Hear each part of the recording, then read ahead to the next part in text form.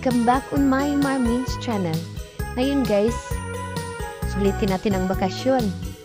Kala na naman tayo dito sa My Dolomite Beach sa uh, Manila Baywalk.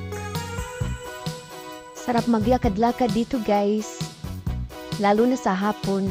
Yung lapit ng magtakip silim. Ang ganda ng view. Maraming namamasyal dito.